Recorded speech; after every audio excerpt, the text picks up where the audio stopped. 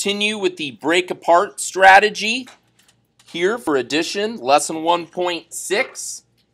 Number three, you're going to want to break this apart by place value. So the 4 is in the hundreds place, so it's worth 400. The 7 is in the tens place, so it's worth 70. And the 3 is in the ones place, so it's worth 3. The 1 is in the hundreds place. The 2 is in the tens place. And the 3 is in the ones place, so that's worth 3. Then you're going to want to add those numbers up. You have 500 plus 90 plus 6.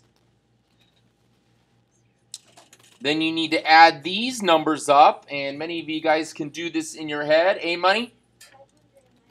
Yes, 596. So you can see how this is easier to add these big numbers because you're breaking them apart by place value. I'll do one more example here. Number four. The two's in the hundreds place, so it's worth 200.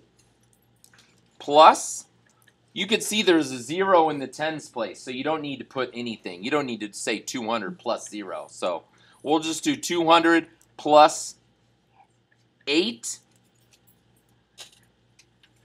Unless it would be good to put that zero placeholder because we're going to have 60 here. What do you think, A Money? Put the zero there. All right, plus zero, plus eight.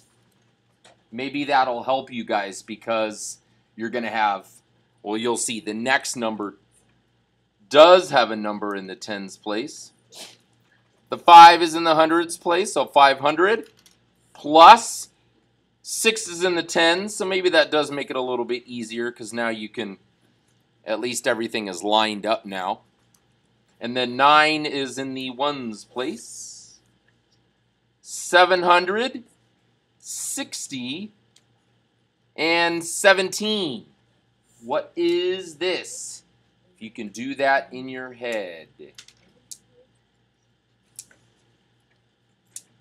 Yes, Avery?